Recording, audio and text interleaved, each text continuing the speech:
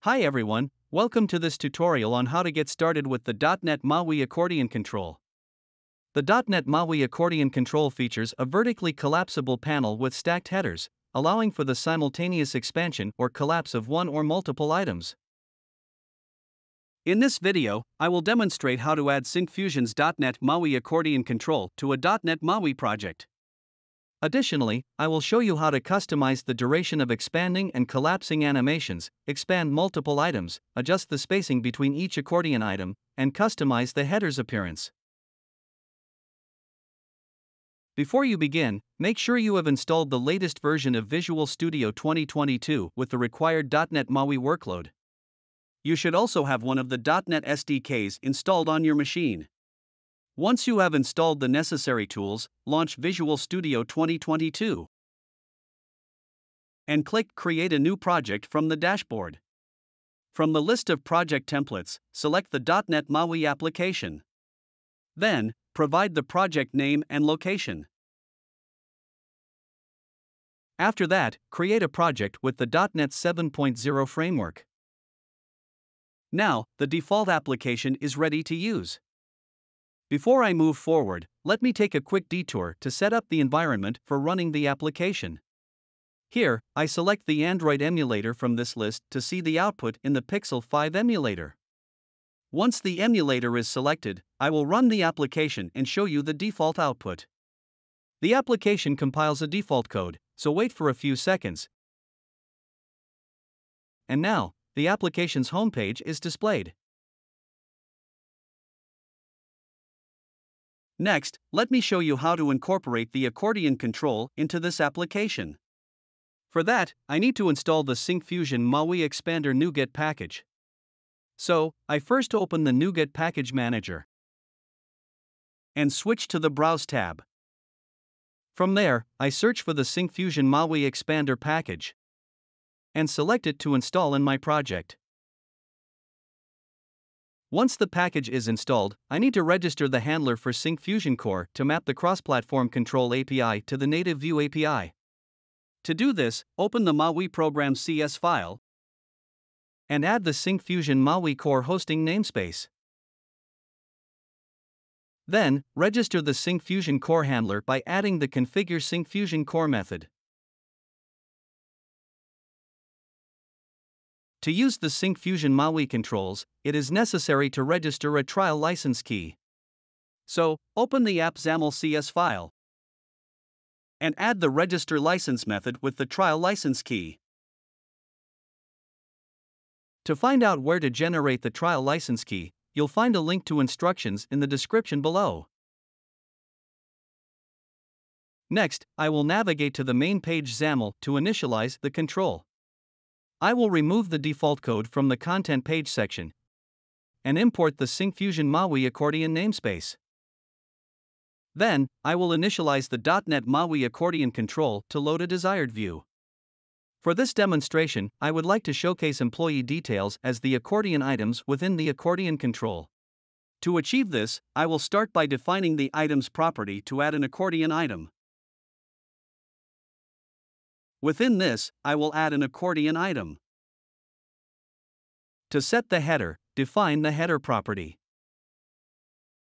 Inside the header, I will place a label to display the employee's name. This label will have customized properties such as margin, font size, font family, and character spacing. Similarly, to set the content for the accordion, I will define the content property.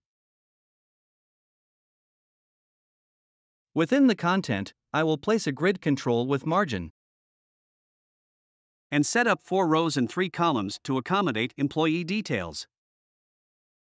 Firstly, I will load the employee image within a frame control. Then, I will add multiple labels to display the employee's position, date of birth, location, and description.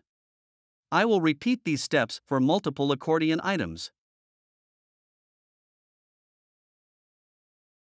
Once configured, I will run the application. As you can observe, the .NET MAUI accordion control is displayed on the emulator. The first accordion item will be in an expanded state, showing the employee details. To expand or collapse it, simply tap on the header.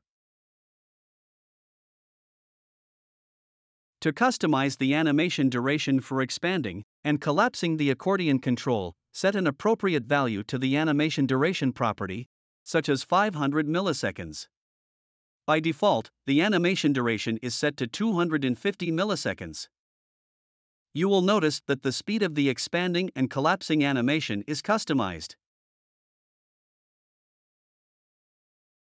By default, only one accordion item can be expanded at a time. However, if you want to allow multiple accordion items to be expanded simultaneously, you can achieve this by defining the expand mode property and setting its value to multiple. Now, you can observe that with this setting, multiple accordion items are expanding simultaneously. To adjust the vertical spacing between accordion items, you can use the item spacing property and set its value to 10. The default value for this property is 0. As you can see, the vertical spacing between accordion items is now customized. To manage the interaction of expanding and collapsing in an accordion control, you can make use of the expanding and collapsing events provided by the control. The accordion control offers four built in events expanding, expanded, collapsing, and collapsed. To disable expanding for the second accordion item, define the expanding event. And navigate to the event handler method. In this event handler, check that the index value is 1. If it is, set the cancel property of the event argument to true. This will prevent the second accordion from expanding. Looking here, the second accordion will be disabled and cannot be expanded, and the other accordion items can still be expanded as usual. Similarly, to disable collapsing, navigate to the main page XAML and remove the existing expanding event and its method. Then, define the collapsing event and navigate to the event handler method. In this method, check the index value is 1. If it is, set the cancel property of the event argument to true. This will prevent the second accordion item from collapsing.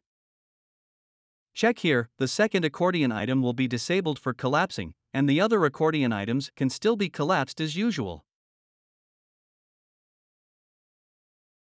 Now, let's see how to customize the appearance of the accordion's header. Before starting, remove the collapsing event and other accordion properties. By default, the header icon position is end. To customize the position of the header icon, you can use the header icon position property and set it to start. Notice here that the header icon is positioned on the start side.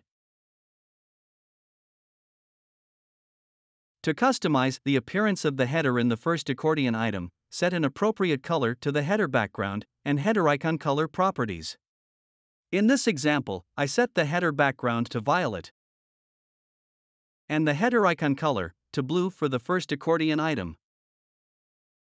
Now, you can see that the header background color and icon color of the first accordion item is customized according to the specified values, while the other accordion items will retain their default colors.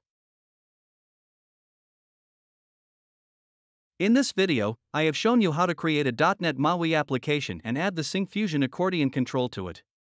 I also demonstrated how to customize the duration of expanding and collapsing animations, expand multiple items, adjust the spacing between each accordion item, and customize the header's appearance. To learn more about accordion features, you can check the documentation link provided in the description below. I have also included a link in the description where you can check if you qualify for our community license, which gives you a free license key for our entire .NET MAUI control suite.